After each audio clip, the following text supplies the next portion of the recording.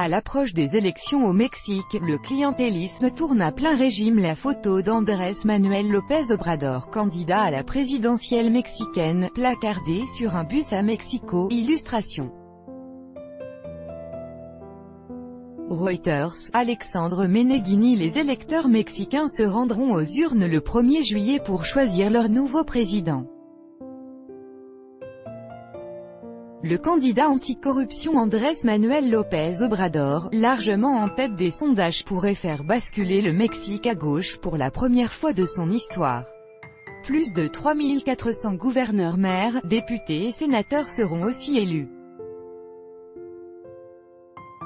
À l'approche du scrutin, les partis multiplient les opérations clientélistes pour séduire un maximum d'électeurs dans les quartiers défavorisés de la capitale.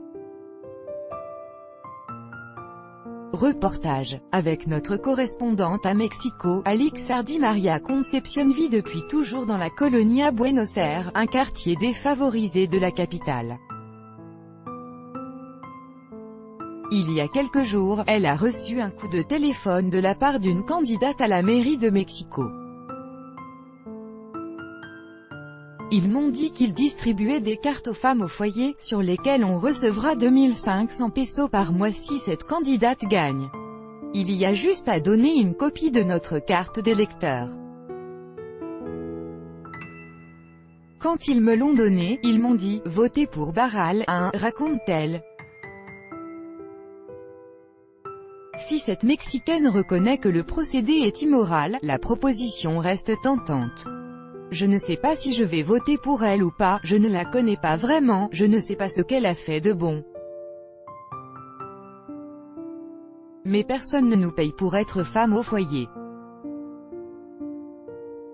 Alors oui, ça me pousse à voter pour elle, justifie-t-elle.